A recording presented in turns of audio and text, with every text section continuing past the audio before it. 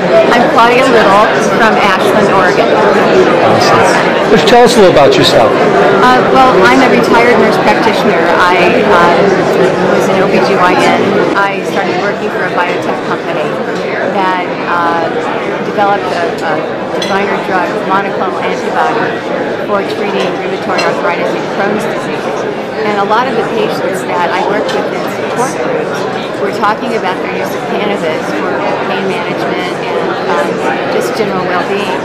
So when I retired completely, I just really delved into the, uh, the research on cannabis and was uh, amazed at uh, the, all the research that is out there and available about its anti-inflammatory properties, its neuroprotective properties, and even anti-tumor properties. And these have been known for quite a long time.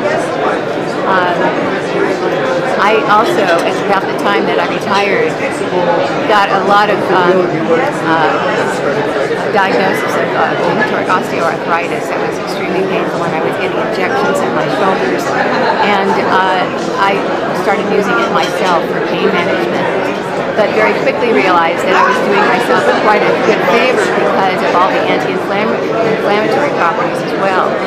Um, then there have been other occasions through my own experience as an aging uh, woman that um, that I've been able to use cannabis to help with. And one thing that's been amazing, and it's not usually on the, uh, the uh, approved conditions, is for better sleep uh, management.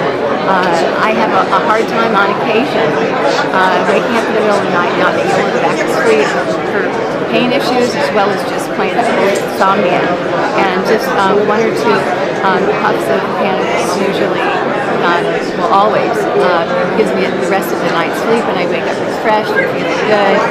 And, uh, and knowing about the, the neuroprotective aspect of cannabis too, I feel like I'm doing myself a favor when it comes to just uh, protection against uh, Alzheimer's. These kinds of things are um, are really not talked about much uh, and not usually on the list of uh, uh, indications for cannabis on a state level.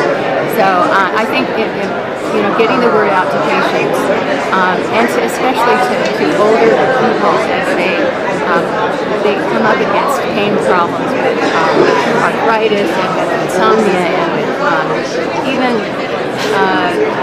all the, the known problems with um, loss of appetite and uh, nausea. From chemotherapeutic uh, therapies. Um, a lot of people are, are just reticent or, afraid to ask their doctor about it, and I think my role as a as a nurse practitioner, I'm really encouraging the patients that that I, um, I the people I know that are patients to, um, to ask their doctors about cannabis educate them because most doctors really don't know. It's been kind of a, an avocation that I've had is to um, talk to other professionals, pharmacists, um, doctors um, that really don't know the science of cannabis and how profound it can be in patients.